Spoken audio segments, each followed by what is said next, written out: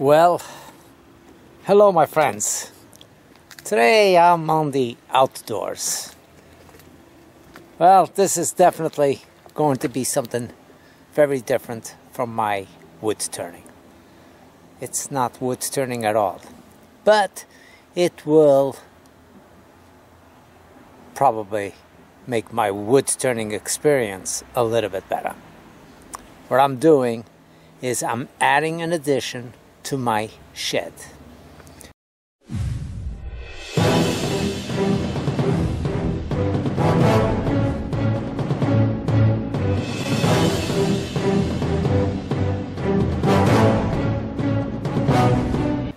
Uh, yep, I'm home for a couple of days. Wife uh, has been telling me she wanted a shed, and uh, you know we went to look at sheds pre-built, and nothing really could be incorporated into what I already have existing.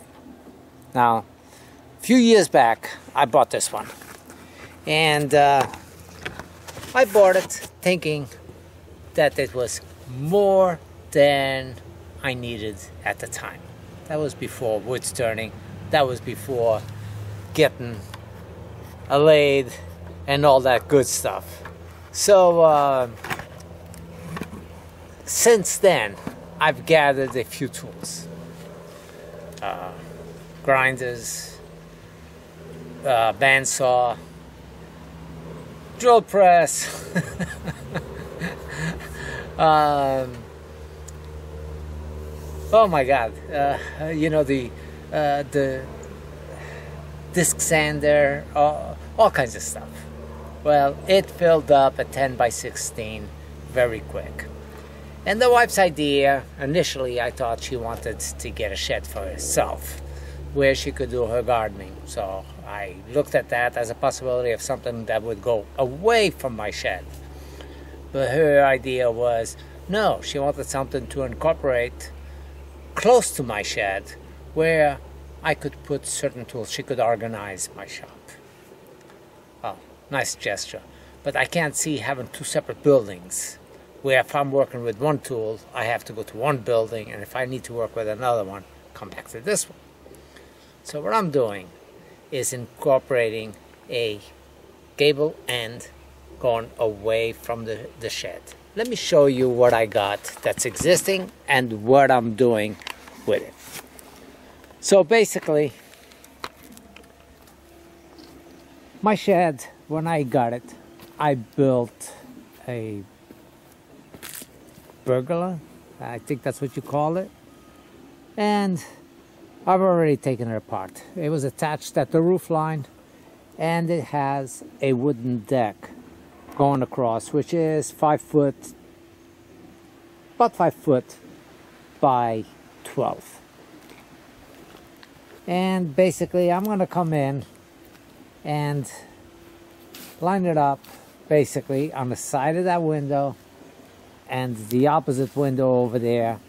Build my walls, a door kind of, I'm thinking of a door in the center, but I might go offside with the door so it gives me enough wall space. Who knows? I might bring the lathe on this addition to maintain a lot of the dust uh, isolated to this area where I will make an opening for a door over here in the middle or again maybe through the side window over here and utilize this whole wall over here this side and the front wall so it doesn't kill the, the, the space. So I will play with that as far as exactly where I'm going to be putting the door. Gone to uh, Home Depot this morning. I picked up the lumber that I figure I will need. Well, anyway, I've made four same style trusses as what's inside the uh, the shed, how the shed is con uh, constructed originally, with uh, Simpson clips, and I have to add some more, but uh, those literally have to be compressed. Uh, with a vise uh, to, to do them right. I hammered those on just one side just to uh, get uh, things rolling and basically I'm walking it up the ladder and just stacking them up, one against the other on the sides.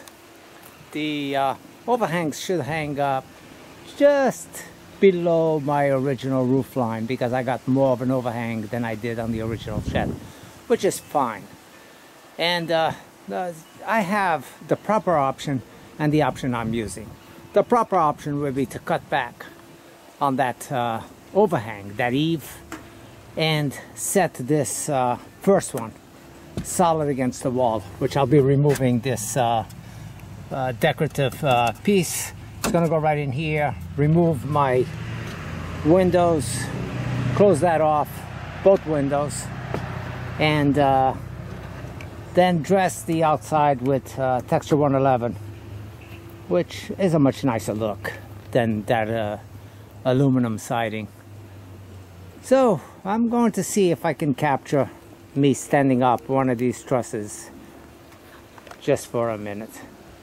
To take one of these up to the center and stack it up.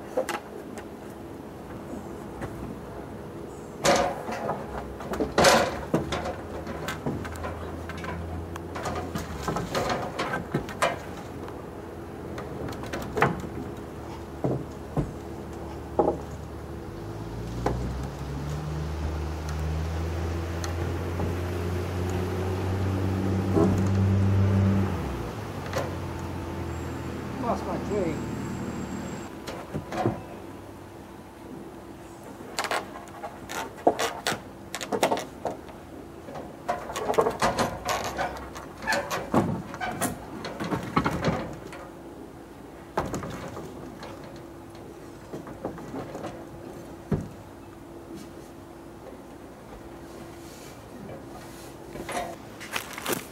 So right now I got three of the rafters up. Got one on the ground over here. Uh, don't have a way to reach it. I'll figure it out.